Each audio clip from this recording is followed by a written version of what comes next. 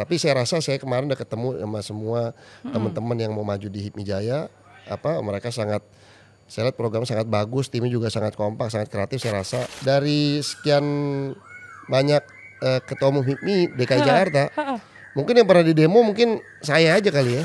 Ke depan tantangannya justru lebih berat dibanding zaman saya gitu. Karena kalau kita saat itu kita bersaing dengan manusia menurut saya. Sekarang kita bersaing dengan teknologi.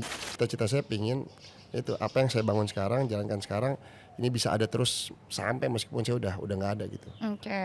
gitu. tetap bisa memberikan manfaat untuk banyak orang sampai kapan pun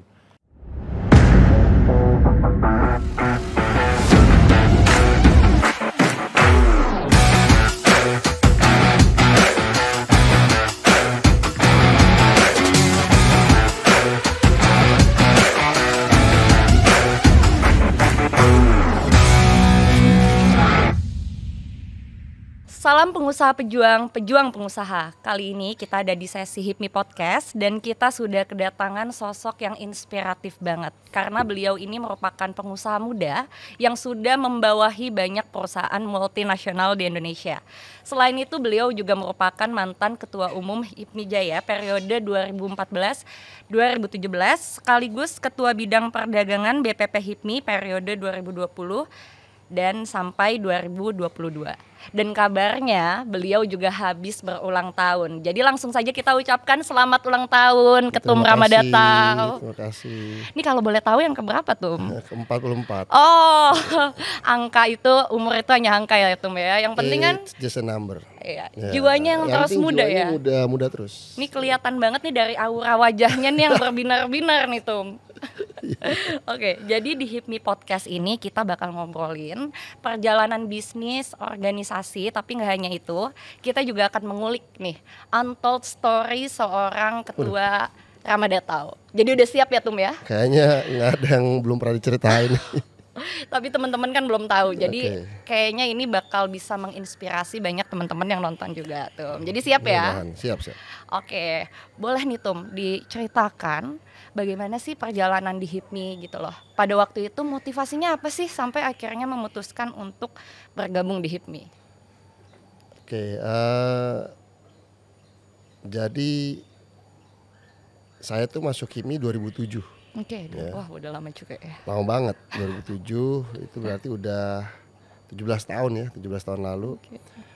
Eh, alasan waktu itu masuk HIPMI, waktu itu eh, ketua umum HIPMI, BPP HIPMI waktu itu adalah eh, Mas Sandiaga Uno. Oke. Nah, jadi eh, kebetulan dia salah satu apa eh, saat waktu itu eh, saya melihat wah beliau ini pengusaha muda yang sukses, saya cukup sukses waktu itu. Jadi sehingga akhirnya jadi termotivasi untuk eh, masuklah ke HIPMI Oke.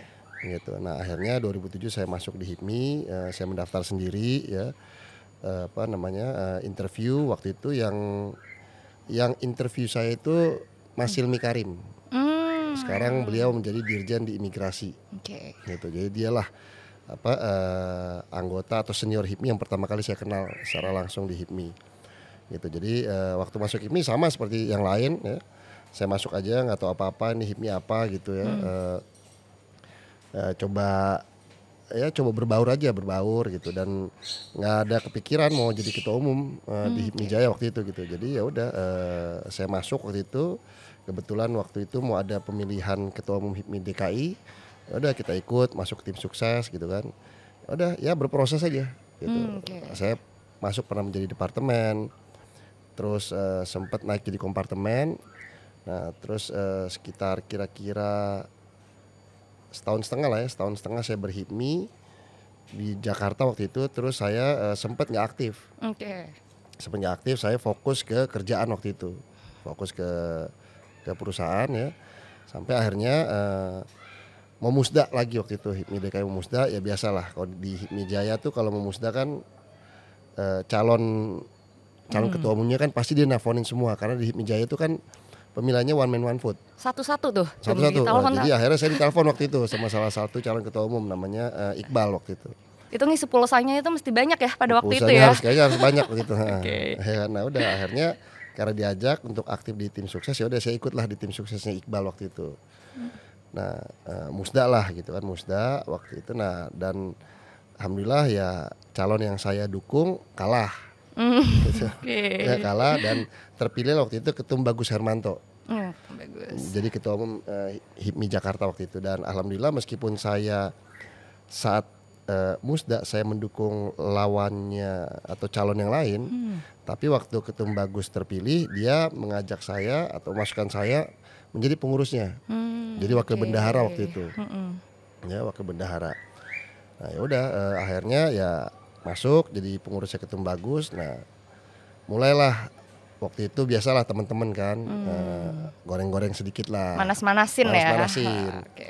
Yang pertama kali manas-manasin saya waktu itu ada namanya Regen teman saya. Regan, oke. Nah, wah kayaknya cocok nih maju. Cuman nah waktu itu kan kita masih iya dan enggak kan gitu. Akhirnya udah jalan aja sampai akhirnya pertengahan periode kepengurusan ketum bagus. Ya mulailah digoreng-goreng lagi, goreng-goreng lagi. Eh, waktu itu sama sekretaris HIPMI Jaya waktu itu almarhum eh, Skum Eman waktu itu.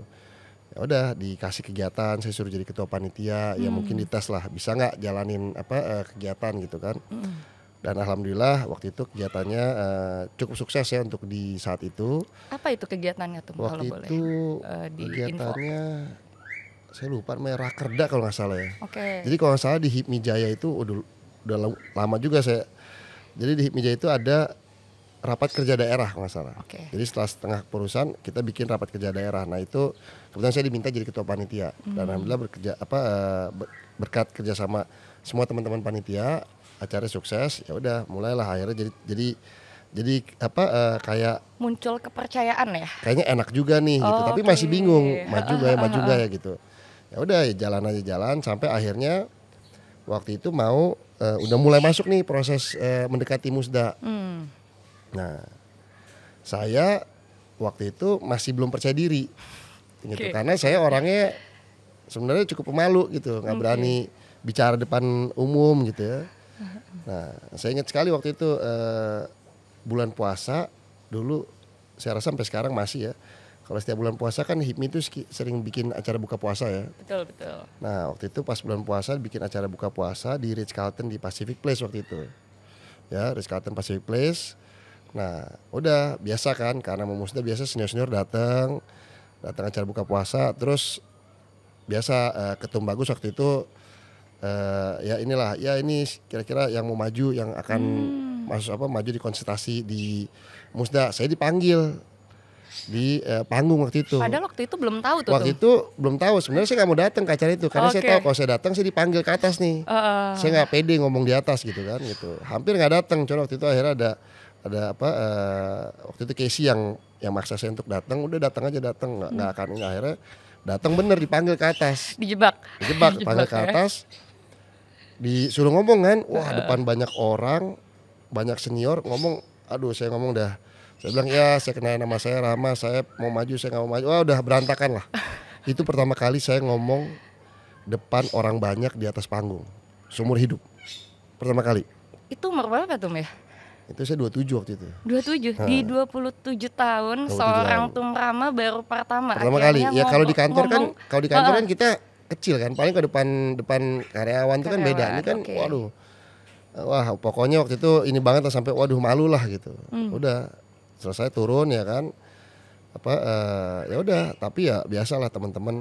Terus apa eh, biasa apa dorong-dorong lah untuk maju. Akhirnya ya udah apa namanya eh, setelah ini diskusi sama teman-teman di HIMI ya eh, akhirnya udah kita boleh deh kita maju gitu gitu kan. Akhirnya udah kita coba ikutin prosesnya semua eh, ikutin proses musda ya. Eh ya cukup menyenangkan waktu itu proses muda karena ya kita mesti ketemu sama semua orang sama teman-teman di HIMI Jaya karena one man one vote jadi mesti ya teleponin setiap hari kerjaan telepon teleponin teman-teman gitu. Akhirnya alhamdulillah eh, ya terpilih jadi ketua umum BPD HIMI Jaya Di waktu itu di 2014 itu 2014 ya? ya, kalau nggak salah 14 ya. 2014 ya terpilih jadi ketua umum BPD HIMI Jaya gitu. Terus ya ya udah. Nah setelah itu kebetulan eh, biasanya kalau HIPMI Jaya setelah musda ada munas pemilihan ketua umum Oke. BPP Mm-mm. nah munas saat, itu kebetulan cukup cukup tensinya cukup tinggi.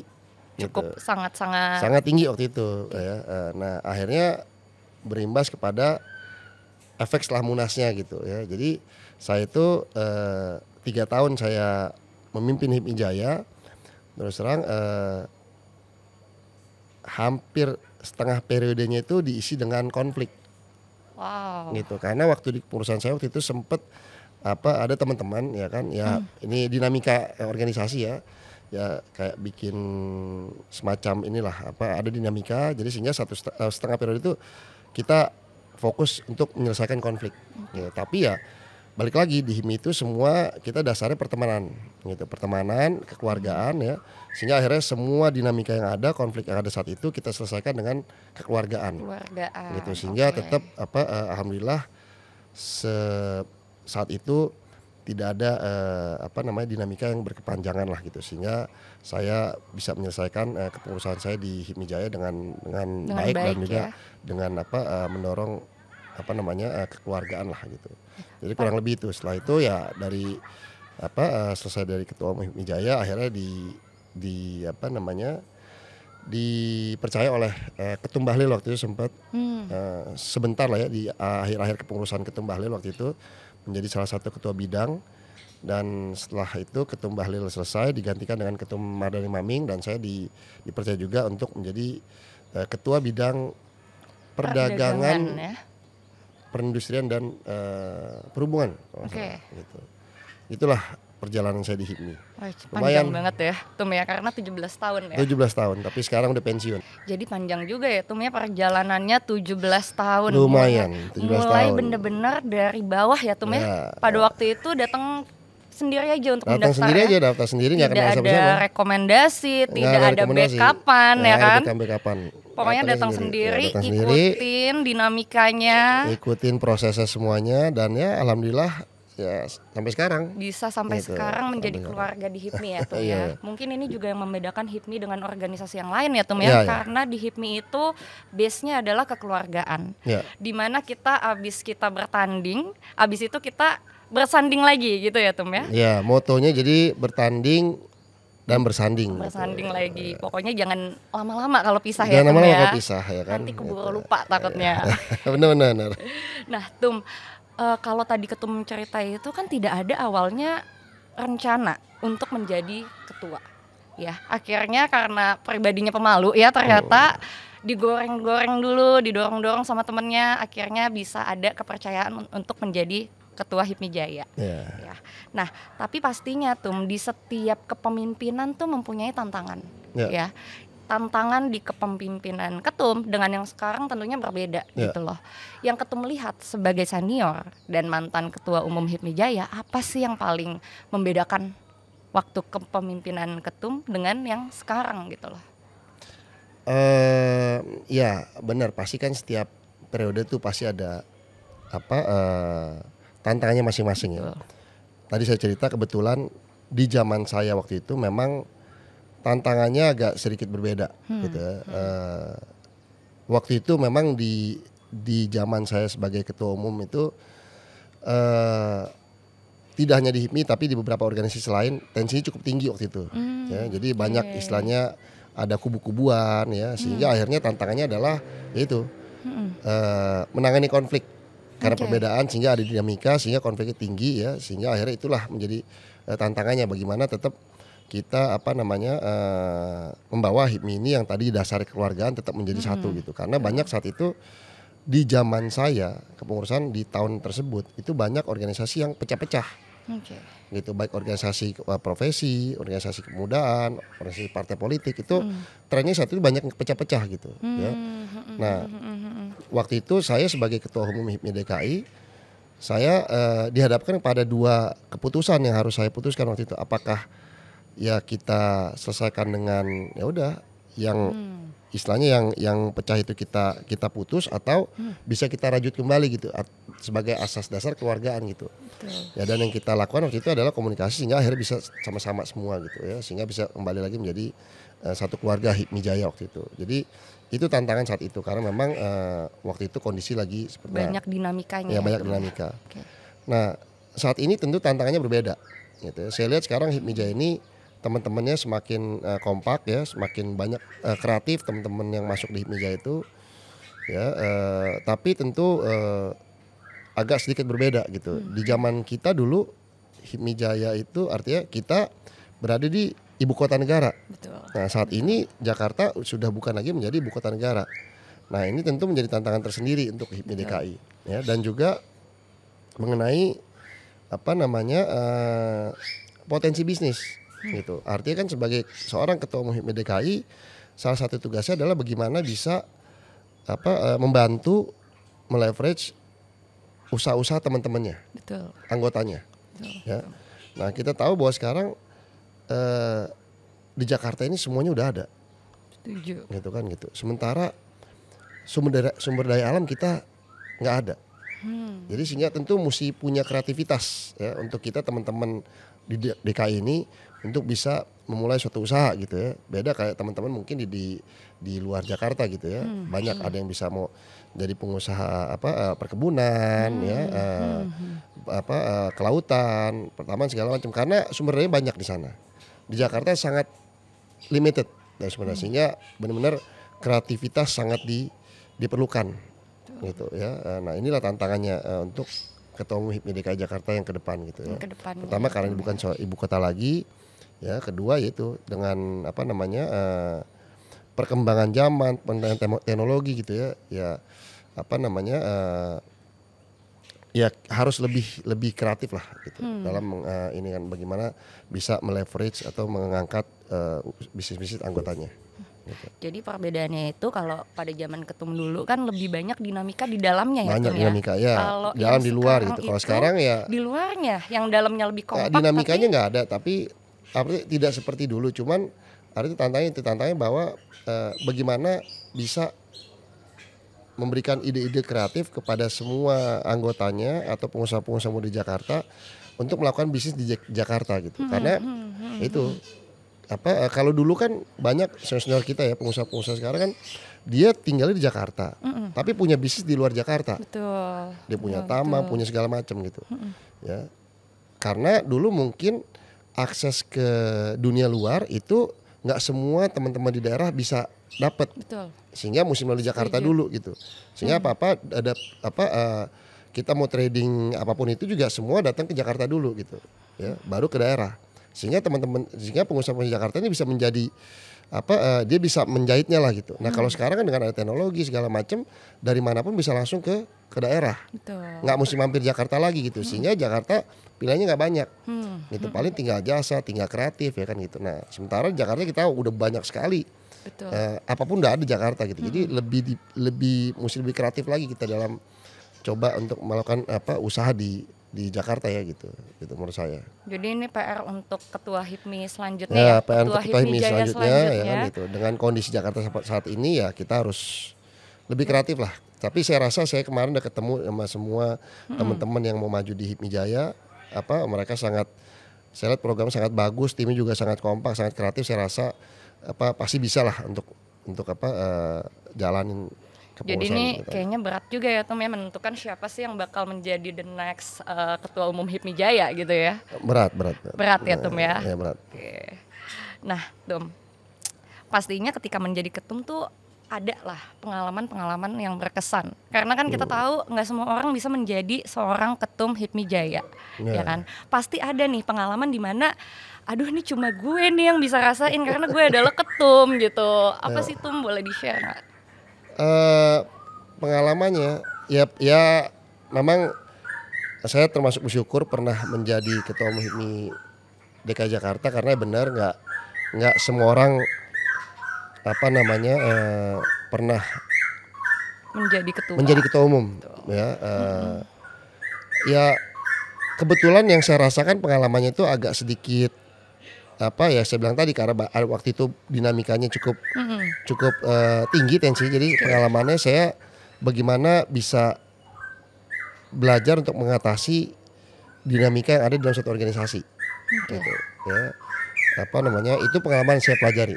Meskipun waktu itu saat saya jalanin itu nggak enak banget. Hmm, Oke. setiap pagi bangun tuh udah aduh nih apalagi nih saya mesti Apalagi, temuin ini isu ya. apa lagi nih saya mesti ini gitu kan tapi ya itu akhirnya saya belajar gitu. Saya belajar ya oh bagaimana menjalani atau menghadapi dinamika yang ada dalam suatu organisasi gitu ya. Dan dan pengalaman itu akhirnya sangat berguna buat saya setelah saya berhipmi gitu. Saat saya meng- mengikuti organisasi lain ya ataupun ya itu di perusahaan kadang-kadang ada ada isu apa saya lebih tahu bagaimana cara berhadapan dengan dengan orang-orang gitu. Khususnya dalam kondisi yang lagi tidak baik Oke. gitu kan kalau kondisinya lagi baik kan kita enak-enak aja ketawa-tawa indah ya, kan. Tom, ya? semuanya indah-indah ngobrol enak-enak aja tapi giliran saat kondisi nggak baik nah itulah apa saya rasa perlu ada apa eh, Pengalaman dan pengalaman atau ya. mungkin skill khusus lah nah itu saya belajar di HIPMI di HIPMI. dan Tom, yang saya dapatkan gitu waktu itu Dan ketika menjadi ketum ya pada Ketika waktu menjadi itu ya. ketua umum gitu karena saya yakin yang saya rasakan saat itu beda sama teman-teman saya rasakan Oke. Kita hadapi dinamika saat itu sama-sama. Saya Hmm. nggak sendiri saya ada urusan saya teman-teman saya yang selalu sama saya. Oke. tapi kan yang mesti menghadapi langsung saya. Oke, betul. yang harus mengambil keputusan saya. Teman-teman hanya memberikan masukan. Gitu. Hmm, ya. hmm, setuju. dan masukan saat itu banyak gitu. Dari segala mac- masukan saya harus memilih satu mana yang terbaik. Hmm. nggak hanya untuk saya tapi untuk organisasi gitu jadi itu yang yang saya rasakan gitu Jadi pada waktu itu ada nggak tuh keinginan kok menjadi ketum ketum HIPMI Jaya kok nggak seperti yang aku bayangkan Waduh. ya gitu. saya udah sempat udah sempat waktu itu sempat udahlah Mau saya mundur lepas aja. deh Oh, capek ngurusin wow. mendingan saya ngurusin kerjaannya gitu Ah, ah, setiap hari saya apa eh, mungkin dari dari sekian banyak eh, ketua umum HIPMI DKI Jakarta mungkin yang pernah di demo mungkin saya aja kali ya Oh jadi pernah tuh? pernah ada dikasih kejadian? spa, dibuka Ya taruh spanduk gitu di ampun, oke. di beberapa titik di Senayan di mana wah di ada spanduk turunkan Ramadhan nggak ada gitu Itu ngerasain udah kayak eh, demo untuk pemerintah udah ya kayak ya? iya gitu kan jadi ya segitu ininya tapi ya saya sekarang kalau saya cerita saya ya buat saya itu suatu pengalaman yang Heeh, menurut saya nggak semua orang bisa bisa rasakan gitu Oke. dan ya banyak saya bisa ambil ambil pengalamannya dari situ Hmm. gitu ya Jadi malah ini yang menjadikan ketum itu orang yang lebih kuat juga ya Tom ya dalam menghadapi masalah gitu. ya kurang lebih lah gitu Oke, jadi minimal kalau ada masalah lebih lebih mungkin lebih sabar kali ya lebih cara- wise juga Lebih ya Tom wise ya. gitu kali ya. Oke. gitu Jadi mungkin ini teman-teman bisa belajar dari ceritanya Ketum Rama bahwa nggak semua itu yang kita alami buruk ya Tum ya. Ya. Yang pada waktu itu rasanya kita mau nyerah aja deh. Hmm. Aduh gue putus asa aja deh. Tapi ternyata itu yang ngebawa kebaikan untuk ke depannya. ya Ya Tum ya. Dan aku rasa kayaknya seorang leader itu memang harus ditempa dengan hal-hal yang seperti itu. Setuju nggak Tum? Katanya begitu Oh katanya begitu ya. Karena kalau misalkan eh, rata-rata aja, lurus-lurus aja, Oh, ya tantangannya di mana gitu iya, ya iya. Tum? katanya sih begitu ya Katanya sih begitu ya. Nah, nah mungkin pertanyaan selanjutnya ini mewakili banyak pertanyaan yang ada di luar sana, Tum. Hmm. Jadi sebagai senior dan mantan ketua umum HIPMI Jaya, sebenarnya apa sih Tum manfaat eh, dalam berhipmi gitu loh bagi teman-teman? Apa sih impactfulnya terhadap bisnis teman-teman yang mungkin kalau kita lihat kan HIPMI Jaya ini sekarang tuh banyak banget ya Tum ya, Ya. yang mendaftar ya semakin bertambah. Dan Banyak, di mana eh, banyak bisnis mereka itu tuh yang mungkin lagi berkembang atau mereka itu lagi startup lah mereka Ya. baru bangun gitu loh. Jadi apa sih sebenarnya impactnya gitu loh dalam berhipmi ini? Eh, kalau menurut saya kita berhipmi ini kan tujuannya paling utama adalah menambah jaringan networking ya. Karena ya pastilah semua saya rasa setuju khususnya memang yang memang eh, berprofesi sebagai pengusaha ya. Salah satu modal paling utama kan dalam kita ber, berwirausaha itu adalah eh, networking atau jaringan. Ya betul. Kan gitu jejaring paling paling utama gitu ya. Apa eh, dan di HIPMI ini saya rasakan saya bertemu banyak ja- apa eh, networking yang yang yang akhirnya eh, bisa memberikan manfaat untuk untuk saya pribadi gitu ya. Oke. Eh, untuk usaha saya juga gitu ya Eh, tapi banyak juga orang yang mungkin agak sedikit salah gitu dalam mengartikan ini. Jadi mungkin banyak yang merasa saya masuk HIPMI saya langsung dapat jaringan dapat networking otomatis dapat langsung. Tapi nggak seperti itu gitu bahwa ya kalau ingin kita mendapatkan networkingnya jaringannya kita harus aktif gitu. Nggak bisa hanya asal daftar gitu. Daftar one thing tapi kita aktif ikutin kegiatan kita uh, berteman dengan teman-teman uh, HIPMI tidak hanya angkatan kita tapi uh, ke ke senior senior juga gitu ya. Jadi artinya hip, gunakanlah HIPMI ini untuk kita bisa berjejaring seluas-luasnya. Oke. Karena di HIPMI saya rasakan kita bisa ketemu dengan siapa pun oke. melalui HIPMI ini. Saya ikut juga beberapa organisasi-organisasi lain, baik organisasi profesi maupun yang lain gitu. Dan saya tidak melihat ya ada organisasi yang se seluas ini jaringannya gitu. Oh, jadi HIPMI ini ternyata sangat luas sangat banget luas ya, menurut saya ya Oke. Eh, baik eh, untuk usaha untuk segala macam gitu ya eh, saya saya dan saya pun saya merasakan gitu dan saya rasakan setelah ber berapa 10 tahun lebih kali saya 10 berhipmi ya. tahun ya pada Oh, enggak. waktu itu ya. sorry tu- tiga empat tahun enam lima tahun ya sorry tujuh tahun. Hmm, saya masuk 2007 2014 13 14 saya akhir oh 6 tahun. Saya akhirnya bisa menemukan eh, teman-teman di HIPMI akhirnya menjadi mitra usaha saya. Hmm, sampai sekarang itu tuh. sampai sekarang. Wow. terus juga eh, kebetulan saya juga ada usaha lain ya. Yang salah satu customer besarnya itu adalah salah satu eh, perusahaan di BUMN gitu. Oke. ya. dan ternyata setelah sekian lama saya berhipmi ya ada senior saya yang menduduki direksi di perusahaan tersebut. Oke. sehingga ya komunikasi lebih enak gitu. Bukan berarti langsung karena kenal langsung dikasih enggak juga. Enggak. profesional tetap ada gitu. Tapi komunikasi lebih enak gitu. Ya, jadi artinya banyak yang kita bisa dapatkan tanpa kita sangka-sangka. Intinya kita berjejaringnya dulu gitu. Karena Hmm, itu sebagai pengusaha paling utama adalah eh, jari berjejaring gitu. Dan tempat yang paling pas menurut saya untuk bisa berjalan dengan segala macam kalangan adalah di HIPMI. Di HIPMI. gitu. nggak ada tempat lain lagi menurut saya yang seperti di HIPMI ini gitu Jadi HIPMI ini bisa dibilang merupakan kendaraan ya Tum ya, kendaraan supaya kita itu sebagai pengusaha, apalagi pengusaha muda, Ya. itu tuh bisa lebih cepat jalannya ya. Karena di situ kita bisa Ya. ketemu berbagai macam bisa dibilang seperti itu tapi bukan Teman-teman. berarti kita masuk HIPMI kita pasti besar Oh, bukan juga ya. Oke. nggak juga gitu semua balik tergantung kita ada juga ya orang masuk HIPMI tapi salah-salah bergaul akhirnya Bergaul malah ya. usahanya jadi tutup gitu kan gitu jadi ya tergantung ini HIPMI ini kan kayak sekolah Oke. Saya dari dulu pas masuk HIPMI selalu diajar HIPMI ini kayak sekolah. Sekolahnya para pengusaha. Hmm. Namanya sekolah itu ada yang berhasil, ada yang fail. Oke. Nah, semua tergantung kita gitu, ya. Tapi di sini banyak contoh. Kita bisa berjaring, kita bisa banyak, belajar dari banyak orang, dari teman-teman yang sukses, teman-teman yang gagal, kita bisa banyak banyak banyak pelajaran kita bisa dapat dari HIPMI ini gitu. Nah, Tum kalau misalkan di sekolah HIPMI ini kan ada yang sukses, ada yang gagal. Iya, iya. Nah, boleh kasih satu tips nggak Tum? Gimana sih ini hacknya? Kan Ketum ini soalnya udah 17 tahun nih, ibaratnya Hmm. udah udah profesor kali ya, Waduh, lah. hitungannya di HIPMI ya. Masih jauh. Eh, profesor di HIPMI gitu loh. Pasti ada satu satu esensi di mana kalau kamu mau berhasil di sini, Hmm. lebih baik kamu melakukan ini gitu. Atau apa gitu loh. Di organisasi atau di usaha nih? Di di HIPMI yang akhirnya impactnya ke usaha. Oh, ya kalau di HIPMI untuk bisa berhasil ya itu kita mesti aktif ya kita aktif berhipmi artinya ada kegiatan kita datang nggak cuma datang ya kalau bisa kita juga apa eh, menjadi bagian dari pengurus. Terus nggak hanya jadi pengurus ada kegiatan kita menjadi panitia gitu ya. Mungkin kelihatannya kecil ngapain jadi panitia? Tapi sebenarnya dengan jadi panitia itu kita bisa lebih dekat hubungan kita dengan sama teman-teman di HIPMI gitu. Ya terus misalnya ada pemilihan ketua umum masuklah jadi tim sukses gitu Seru banget tuh kayaknya Tum ya. ya awalnya saya pas waktu dulu saya pikir ngapain masuk tim sukses gitu udah kayak apanya kan saya pengusaha Hmm. ngapain saya masuk masuk kayak gitu gitu Kayaknya nggak butuh juga ngapain nggak butuh gitu. juga buat apa tapi ternyata dengan masuk di situ buk, pertama yang dilihat bukan masalah menang kalahnya Hmm. tapi dengan masuk situ kita bisa kenal lebih banyak orang lagi Hmm. mungkin kalau kita masuk HIPMI kita ikut kegiatan kita hanya kenal teman-teman yang di pengurusan angkatan kita ataupun angkatan eh, kepengurusan saat itu. Tapi begitu masuk tim sukses biasanya ada senior ikutan ya sehingga bisa lebih kenal lebih banyak lagi gitu.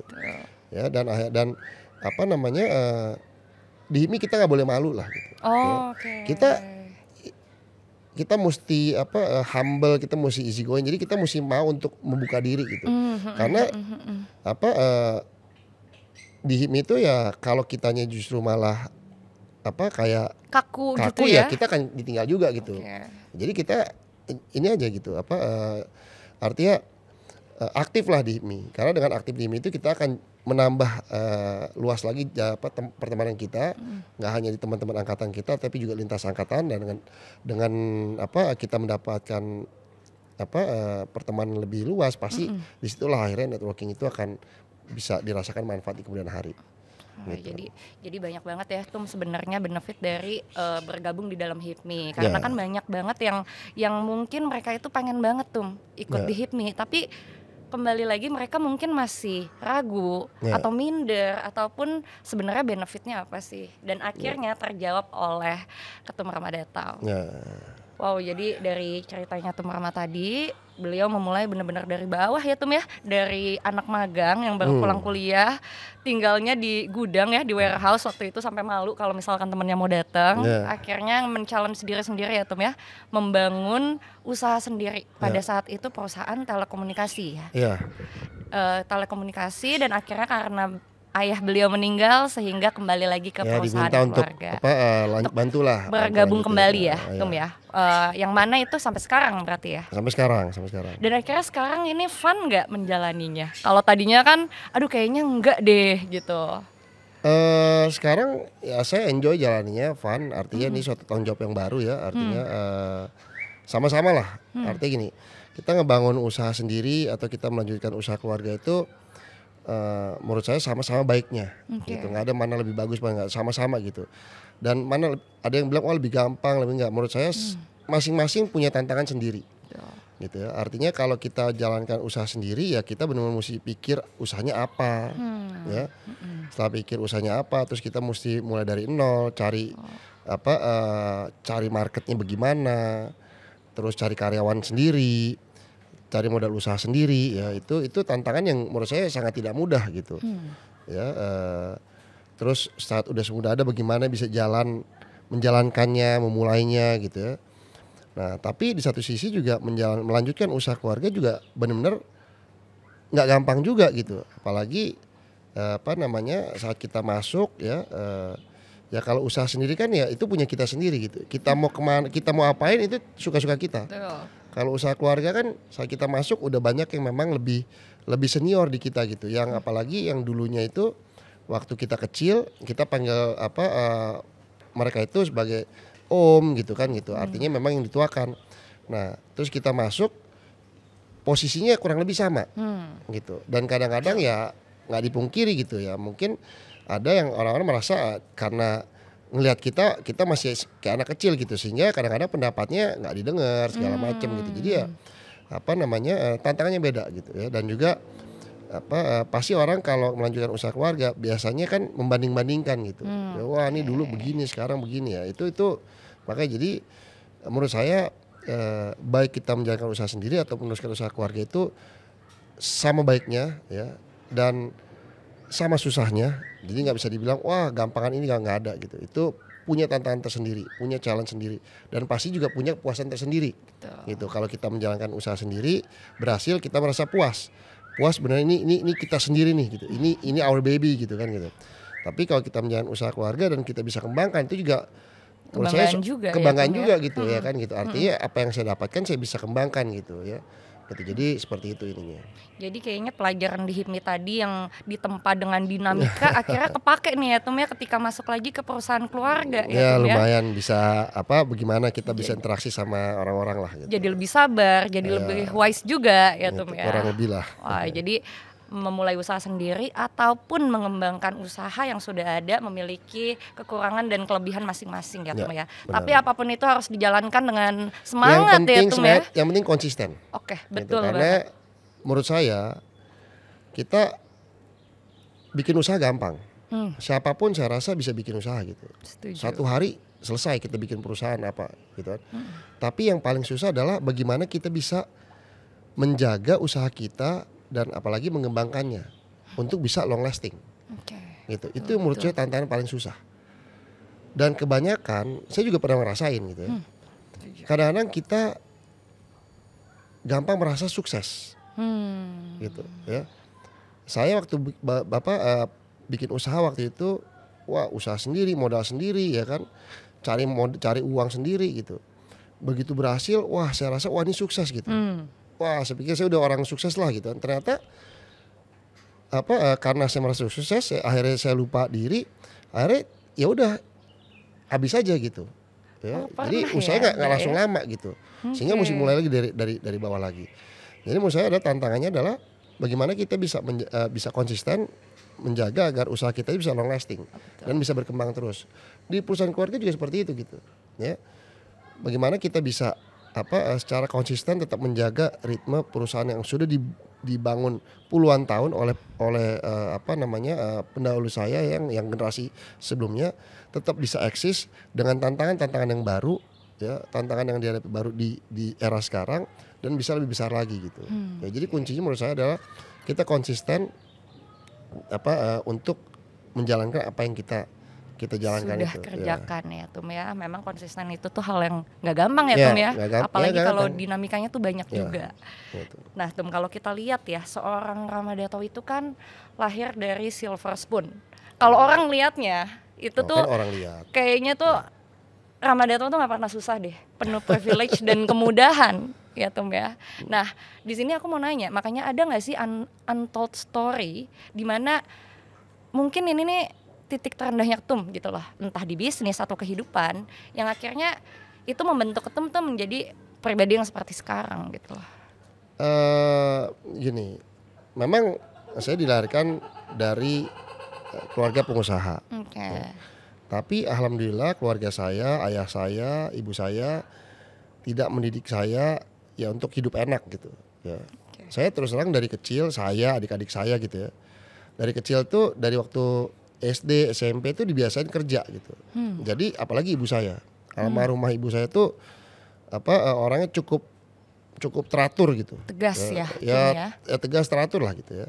Jadi saya ingat saya ingat, banget dulu tuh kita saya sama adik-adik saya kalau kalau mandi sore itu paling telat jam 5 sore Oke. gitu. Kenapa? Karena jam 5 sore nanti ada eh, pembantu di rumah yang akan bersihin kamar mandi, Oke. dibersihin, dikeringin segala macam gitu. Nah, kalau kita mandinya lewat dari jam 5 akhirnya nanti orang yang harus jam yang kerjain kamar mandi akhirnya dia jad, karena dia punya jadwal lain gitu. Oke. Nah, jadi kalau kita mandi lebih dari jam 5, siapa pun itu baik saya ataupun adik saya yang terakhir itu mesti ngebersihin kamar mandi. Hmm, oke. Mesti ngeringin, ngepel segala macam. Jadi dari kecil itu diajarin untuk ya ya lo ya bekerja gitu. nggak nggak nggak nggak gampang gitu. Sehingga akhirnya ya udah itu menjadi suatu kebiasaan sampai waktu saya kuliah. Saya kuliah eh kebetulan saya kuliah di Australia. Oke. Ya, nah itu waktu saya sampai sana, ayah saya ikut sana anterin. Nah, sama-sama saya dia eh, apa namanya eh, dia cek dari tempat tinggal saya sampai ke ke kampus saya tuh naik bis tuh berapa sih biayanya. Jadi dicatat Oke. bener gitu sehingga akhirnya saya dikasih uang uang jajan itu sesuai dengan kebutuhan. Jadi ngepas aja Ngepas gitu aja. ya, Tum ya. Gitu, nggak Oke. bisa yang lain-lain gitu. Oke. Sementara saya lihat waktu itu teman-teman saya, waduh kuliah naik mobil kan gitu. Wah ini kok saya nggak naik mobil gitu kan, naiknya naik bis gitu. Ngepas lagi uang jajannya Ngepas ya lagi kan. uang jajan gitu. Akhirnya waduh saya minta dibeli nggak dikasih gitu. Ya udah akhirnya saya kebetulan saya punya teman kenal teman waktu itu dia bekerja Hmm. bekerja di eh, di apa fast food eh, restoran gitu. Ya udah sebenarnya saya pengen kerja gitu. Hmm. Kan, Ya udah akhirnya saya coba apply dan saya saya kuliah saya bekerja bekerja di dapur waktu itu. Oh, Eh, waktu itu nama restorannya Nandos.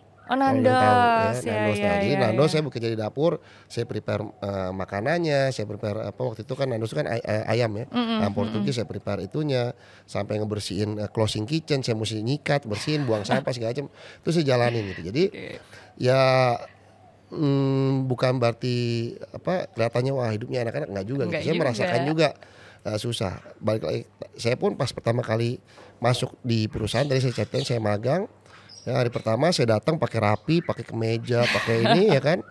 Pakai sepatu rapi, saya pikir saya bakal duduk di di meja ya di ruangan gitu kan gitu. Seperti teman-teman saya yang pulang dia langsung dapat ruangan di perusahaan saya. Ternyata masuknya masuk di gudang gitu. Dan ya tapi ya itu art- cuman saya jadi apa saat ini saya jadi mendapatkan merasakan manfaatnya gitu bahwa Hmm, apa namanya eh, saya lebih mensyukuri apa yang saya dapat hmm, Oke. gitu ya terus terang eh, apa namanya eh, dulu mungkin persepsi saya terhadap apa eh, kesuksesan itu beda Hmm, gitu ya tapi saat ini saya melihat eh, saya punya persepsi beda terhadap eh, kesuksesan, Kesuksesan. gitu ya karena menurut saya eh, sukses itu bagaimana kita bisa menjalankan suatu usaha ya, mendirikan suatu usaha secara konsisten kita bisa membesarkan usaha itu dan usaha itu bisa tetap eksis Oke. meskipun kita udah nggak ada Hmm, Gitu. oke. Ya. Artinya Jadi banyak menjadi legacy ya. menjadi ya? legacy Heeh, gitu oke. meskipun kita udah nggak ada berpuluh-puluh tahun kita udah nggak ada usaha itu tetap bisa memberikan manfaat untuk orang banyak Betul. gitu Betul. Nah, menurut betul, saya itulah yang itu menjadi suatu apa eh, goal saya lah. Jadi kalau orang bilang sekarang oh udah sukses belum, jauh dari sukses gitu. Oke. Saya masih 44 tahun. Masih ya kan? panjang ya Masih ya. panjang. Kalau sebagai ukuran seorang pengusaha saya masih sangat muda gitu. Oke. Iya kan gitu. Hmm. Dibanding kita tahu banyak pengusaha-pengusaha yang yang waduh udah jauh lebih lebih senior daripada kita gitu ya. Jadi masih masih panjang lah perjalanan. Journey still still uh, long. Masih long way ya Iya. Tum ya. Nah, eh, titik terendahnya itu apa Tum? Pernah dong pasti dalam menjalani bisnis atau kehidupan lah Tum. Kalau Di mana ya, yang itu tuh sampai membekas banget lah gitu. mungkin di bisnis aja kalau Oke. kehidupan yang kita buka di Iya sini. dong. Di Ya, bisnis. eh, saya pernah waktu itu waktu saya menjalankan usaha sendiri ya sama teman saya, sama mitra saya waktu itu kebetulan eh, di usaha ini saya ajak keluarga saya untuk bantu saya ya, dan saya percayakan sama dia. Mhm, ya, dan ternyata it turns out eh, keluarga saya ini apa namanya eh, ya menyalahgunakan kepercayaan saya lah gitu. Sehingga dia dia apa ngambil uang perusahaan ya dan juga nggak hanya uang perusahaan tapi uang vendor pun diambil gitu. Wow. ya sampai akhirnya ya apa saya harus harus bertanggung jawab lah harus gitu ya nalangin lagi. ya harus bertanggung jawab gitu Ya kan Tum, baik ke, ke mitra saya partner saya maupun ke ke ke, ke supplier yang memang bekerja sama dengan saya gitu meskipun saat itu bukan kesalahan saya Hmm. tapi karena itu perusahaan saya harus bertanggung jawab gitu sampai Betul. akhirnya ya ya karena itu perusahaan saya keluarga saya nggak mau bantu saya harus selesaikan Oh, sendiri oke. ya akhirnya saya harus ya berkorban harus melepas beberapa apa namanya eh, Aset gitu ya. aset yang Ya. memang saya miliki gitu ya Mm-mm. dan ya itu itu menjadi salah satu titik eh, terendah lah saya merasa waduh kok apa eh, ya abis-abisan lah waktu itu Itu sampai Hmm. dikejar-kejar apa debt collector segala macam gitu ya Padahal orang ini nih keluarga sendiri. Masih keluarga Oh, gitu, masih ya. keluarga ya, Tum ya. gitu. Wow. Jadi, ya, tapi ya kita jalanin lah gitu. Artinya saat itu oh, tiap hari kantor saya didatengin debt collector segala macam ya ya kita ya kita ya kita hadapin gitu. Hmm. Ya, ya kita bilang ya kita oke saya bilang saya saya tetap saya akan tanggung jawab ya, saya akan selesaikan semua apa apa pun yang harus selesaikan gitu ya. Tapi tolong dikasih waktu gitu kan ya. Hmm. Karena menurut saya ya kita usaha itu yang paling utama adalah kepercayaan gitu. Hmm, oke. Kalau orang udah percaya sama kita ya itu Setuju. saya rasa salah satu lah selain jejaring tadi ya kepercayaan gitu. Betul, Ya, betul, betul. Itu tahun berapa, Tum? Terjadi itu tahun hal- 2013 waktu itu saya lagi mau musda lagi Waduh. sampai orang waktu saya inget banget itu supplier tuh bilang ini lo bayar kalau nggak bayar akan gua angkat di media Wow. sehingga akan mempengaruhi pencalonan lo gitu sampai kayak gitu waktu itu Gua bilang ya, ya kayak gitu Tapi itu nggak membuat Ketum Rama tuh mundur ya dari Musda ya, pada waktu itu ya. ya kita Tetap maju ya kita terus. selesaiin satu gitu kan Oke. musda tetap kita selesaiin ini kita selesaiin Jadi alhamdulillah semuanya selesai dua-duanya kan Oke, jadi memang musdanya menang. Ininya selesai gitu Oke. Jadi memang sebagai leader dan pengusaha itu mempunyai harus mempunyai mental yang Ya, tangguh ya Tum ya. harus Jadi punya mentalnya jatuh hajar terus aja lah hajar terus Kacamata aja. kuda aja. Kacamata kuda aja ya Tum ya. Jadi jangan ada dinamika dikit langsung menyerah. Ada cobaan dikit langsung menyerah. Nggak jadi-jadi ya. Tum ya kalau kayak kayak gitu. gitulah kurang lebih Nah, ini pas banget nih dengan pembahasan selanjutnya. Hmm. Katanya Gen Z ini tuh generasi yang kreatif tapi mudah banget berputus asa, tuh. Oke. Jadi mereka ini butuh banget nih yang namanya galau sedikit healing, galau sedikit healing. Nah, sebagai pengusaha yang sudah sudah terjun lama ya, Tum ya, Iya. di dunia usaha, di dunia di dunia organisasi juga. Gimana sih tips and trick supaya punya mental yang kuat? apalagi sebagai pengusaha pemula atau pengusaha muda pasti kan banyak tuh tantangan-tantangannya gitu loh. Bagaimana sih menjadi pengusaha yang tahan banting gitu loh. Eh, bagaimana menjadi pengusaha tahan banting Mhm.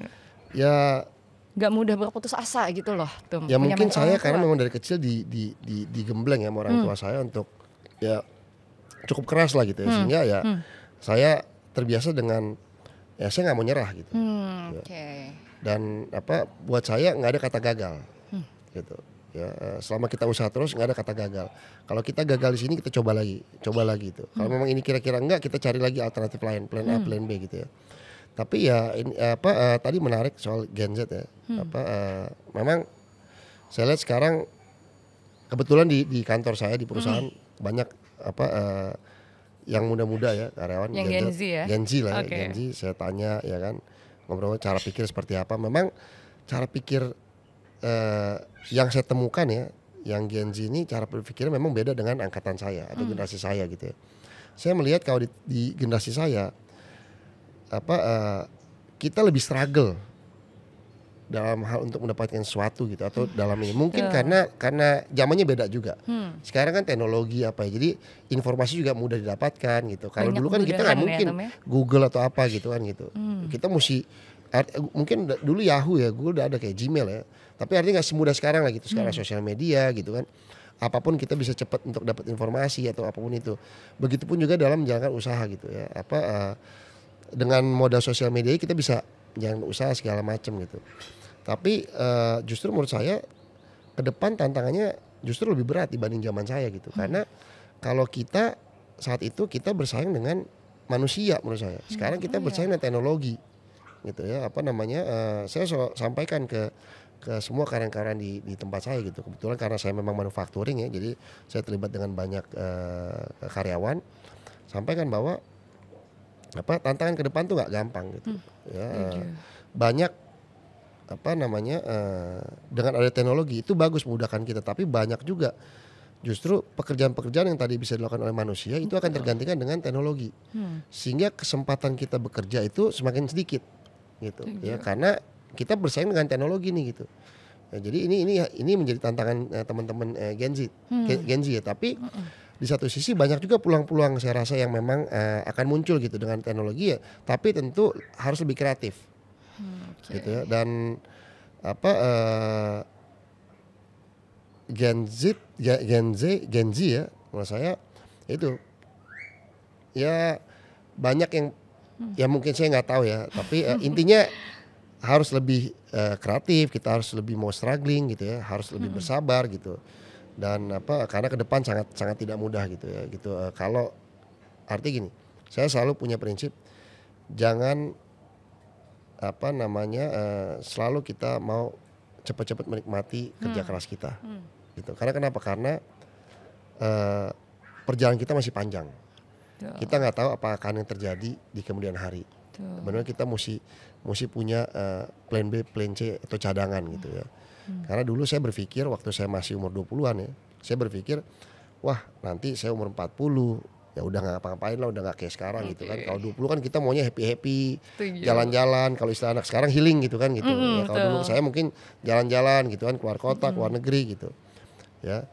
Nah, mungkin kalau udah tua udah nggak 40-an atau 50 udah nggak ternyata nggak juga gitu justru saya lihat sekarang senior saya aja yang umur 50 60-an aja masih nggak kalah ini dengan kita-kita Nggak gitu kalah gaul ya, Tom ya. Iya exactly gitu. Jadi ya artinya perjalanan kita masih panjang gitu. Jadi jangan cepat kita wah punya sesuatu kita pengen nikmatin ya. Hmm, gitu. oke. Karena saya lihat saya banyak juga eh, ada teman-teman saya kenal punya sesuatu nikmatin habis itu dia nggak punya apa-apa Hmm, gitu iya. kan. Jadi mulai lagi, mulai lagi gitu. Jadi ya itu kayak gitulah ini.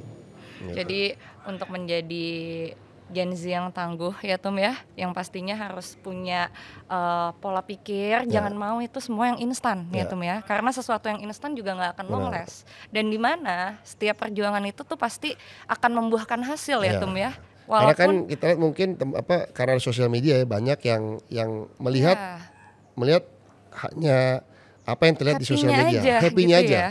Tapi sebelum-sebelumnya orang nggak melihat gitu kan Hmm. gitu. Nah itu yang sebenarnya menurut saya harus dipelajari bagaimana orang bisa berada di posisi itu. Jangan hanya di posisi itunya aja gitu. Hmm. Jangan hanya mau mengikutin happy-happynya aja atau menikmatinya, tapi prosesnya di dipelajari lah gitu. harus Ya. dipelajari Ya, harus dan dan dijalani di- ya. dijalan, diikutin gitu, Diikuti ya, ya, gitu. ya. Jadi jadi untuk menjadi pengusaha yang sukses itu sebenarnya semua tentang mental juga ya, Ya. Tum ya. Itu modal yang pertama untuk gak gampang nyerah, untuk nggak mau cepet-cepet something yang instan dan Ya. terus menjalani prosesnya tuh dengan dengan ya dijalani aja gitu ya, Tum ya. Nah, Tum untuk menutup sesi Hipmi Podcast kali ini, Ya. kita nih mau merangkum Tum tiga aja, tiga eh, kalimat singkat atau lebih singkat boleh deh untuk tips and trik supaya anak muda sekarang tuh bisa menjadi sukses. Kalau saya sih kuncinya sabar aja. Sabar. Sabar untuk menikmat, sabar untuk sukses gitu aja. Karena saya Oke. lihat banyak orang yang nggak sabar gitu. Baru kerjaan pekerjaan bisnis untung sekian langsung wah pengennya terlihat sukses gitu. Oke. Sabar aja untuk sukses. Semua ada waktunya. Oke. Gitu. Perjalanan kita masih panjang. Jadi sabar ya Tum ya. Jadi nggak usah panjang-panjang, intinya usah. satu, Sabar sabar, aja. Itu sabar adalah jalan, kunci sabar jalan. Itu aja. yang untuk sukses Ya. ya. Terus lanjut eh, one words yang menginspirasi dari seorang ketum. inspirasi. Apa ada ada tadi yang terbentur-terbentur ya, itu ya. Oke, kayak gitu. apa ya? Terbentur, Saya ini nggak jago terbentur, bikin terbentuk. quote gitu sih gitu. Tapi saya balik lagi gitu. Apa artinya? eh apa ya? Sabar, sabar, subur. Gitu, Ya, sabar-sabar contoh. subur kan gitu. Ya inti itu kalau saya sih kesuksesan itu tidak bisa diraih dengan apa eh, sekejap lah. Butuh Sekejap. proses panjang dan it's it will be never ending aja kesuksesan itu. Even kita udah nggak ada pun tetap itu akan terus gitu kayak saya Akan bilang tadi. terus. Apa eh, saya pingin ke depan saya cita-cita saya pingin itu apa yang saya bangun sekarang jalankan sekarang ini bisa ada terus sampai meskipun saya udah udah nggak ada gitu Oke. gitu. tetap bisa memberikan manfaat untuk banyak orang sampai kapan pun. Jadi intinya eh sabar ya Tum ya, Sabar. sabar dan cita-citanya nanti ke depannya ingin punya perusahaan yang menjadi legacy ya Tum ya, Ya. yang bisa diteruskan ke generasi-generasi selanjutnya. Benar. Nah Tum pas banget kan Ketum ini habis ulang tahun ya. Kalau kita dari tadi udah mendengar perjalanan mulai dari bisnis, organisasi. Nah ke depannya ini ada nggak sih Tum cita-cita lain misalkan di dunia politik gitu? Mungkin kalau yang lain gue udah katam lah, tapi yang ini nih belum nih. Kayaknya gue mau coba deh gitu. eh polit politik saya tertarik di organisasi. Saya suka organisasi karena HIPMI. Saya suka organisasi. Tapi kalau untuk masuk politik langsung saat ini saya rasa saya belum. Oke. Karena saya diajarin oleh keluarga saya. Eh, Kakek saya kebetulan eh, aktif di politik juga selain pengusaha, beliau aktif di partai politik. Ya eh, terus sekarang om saya juga aktif di partai politik. Tapi selalu pesan yang disampaikan ke kita-kita kita istilah gini, eh, kita jangan masuk politik kalau kita belum belum artinya gini, kita eh kita mesti siap artinya kita mesti punya sesuatu yang memang punya dasarnya kita udah udah punya income yang yang Paham. cukup ya untuk diri kita keluarga kita lingkungan kita baru masuk terjun ke politik karena politik itu kan mengurusi masyarakat banyak gitu kalau kita belum punya apa-apa gimana kita mengurusi orang banyak akhirnya jadi jadi nggak benar Oke. Ya, tapi kalau kita sudah oke dengan diri kita sendiri, keluarga kita, barulah kita bisa apa eh, terjun ke Politik. politik untuk mengurusi masyarakat lebih banyak lagi gitu. Jadi saya merasa saya belum belum cukup ya, masih banyak yang harus saya persiapkan dalam diri saya. Ya, nanti eh, mungkin kalau udah eh, kapan waktunya ya mungkin kita nggak pernah tahu. Tapi saat ini saya masih belum belum ingin untuk terjun langsung eh, secara aktif ke politik. Jadi kesimpulannya dalam waktu dekat Masih bisnis dulu. seorang ketum ramai ini tidak Masih. akan terjun di politik ya. Jadi fokusnya di Kita bisnis fokus ya. dulu. Masih mau Oke. besarin bisnis dulu gitu. Oke wah bagus banget. Tum Rama, thank you banget udah menyempatkan waktu datang ke Hipmi Podcast. Pasti sharing-sharing dari Tum Rama Mudah-mudahan ini bisa eh, mendapatkan apa eh, apa-apapun itulah. gitu. banyak manfaat ya. Pastinya sharing dengan Tum Rama hari ini pasti eh, memberikan banyak manfaat buat teman-teman semua yang menonton. Karena saya sendiri pun juga baru tahu perjalanan beliau yang begitu panjang dan ternyata juga banyak belajar juga ya dari beliau dari obrolan pada hari ini. Terima thank you. Terima kasih, thank Dan teman-teman thank you banget juga udah menonton Hipmi Podcast. Jangan lupa saksikan Hipmi Podcast tiap hari Minggu di YouTube channel Hipmi TV. Hipmi Podcast, ceritakan pengalamanmu, promosikan bisnismu. Oke Tum, thank you. Thank you. Boleh diminum dulu